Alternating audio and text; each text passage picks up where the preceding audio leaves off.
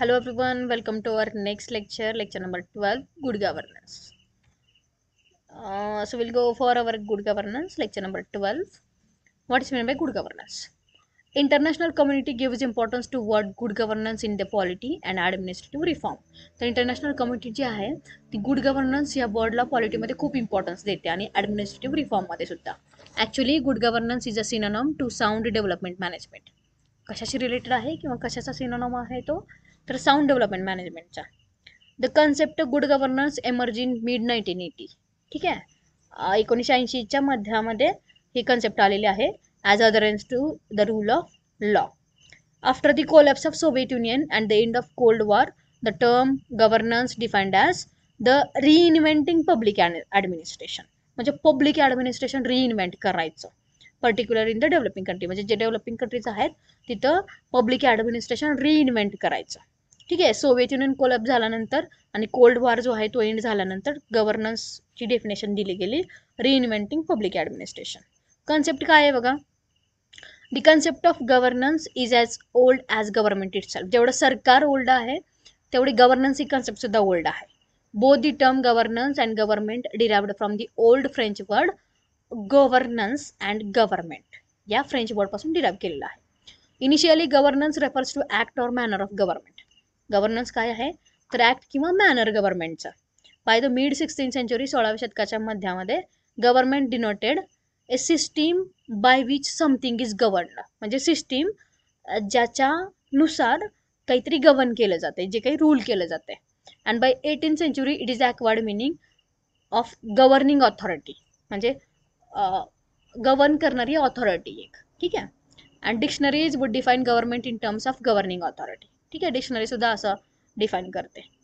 During nineteen eighties under economic reforms जेव्हा economic reform होत चालू होते एकोणीसशे ऐंशी ऐंशीच्या वेळेस under globalization the use of term governance become popular with its emphasis on process and manner of governing to the nation of sustainable development तर sustainable डेव्हलपमेंटसाठी म्हणजे ही जी टर्म आहे गव्हर्नन्स ही पॉप्युलर होत गेली. आणि ह्यामध्ये मेन फोकस कशावर होता? प्रोसेस आणि मॅनर जो आहे गव्हर्निंगचा तो. Meanwhile organisation such as I M F international monetary fund N G Os non governmental organisations the U N United Nations and its agencies use it in variety of ways ह्या सगळ्यांनी वेगवेगळ्या वेमध्ये ह्या governance या टर्मला use केलेला आहे. ह्याचं meaning काय आहे बघा? In 1989, World Bank used the term governance first to describe need for institutional reforms and better and more efficient public sector एकोणीसशे एकोणनव्वदमध्ये विश्व बँकेने वर्ल्ड बँकेने सगळ्यात फर्स्ट टाइम म्हणजे गव्हर्नन्स ही टर्म वापरली. कशासाठी? तर इन्स्टिट्यूशनल रिफॉर्मसाठी जी गरज आहे आणि बेटर आणि मोर इफिशियंट पब्लिक सेक्टरसाठी जी गरज आहे ते डिस्क्राईब करण्यासाठी.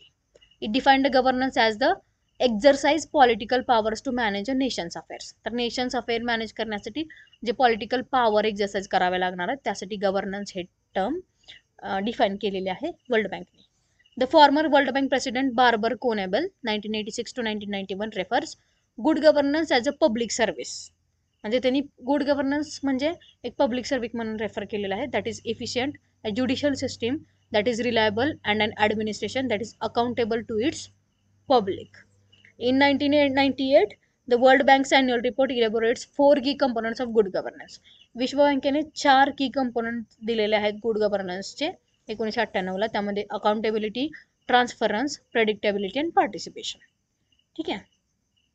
The organisation of economic cooperation and development that is O E C D defines governance as the use of political authority political authority वापरायची and exercise of control in society in relation to management of its resources for social and economic development सामाजिक आणि आर्थिक विकासासाठी जो control आहे सोसायटीमध्ये हां ते रिसोर्सेस वापरून सामाजिक आणि आर्थिक विकास करण्यासाठी ते एक्झरसाइज करायचे.